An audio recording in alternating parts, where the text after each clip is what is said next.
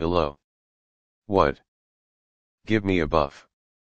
Okay but I will make you expensive and remove you from people's inventory and refund people 250 coins and make you up.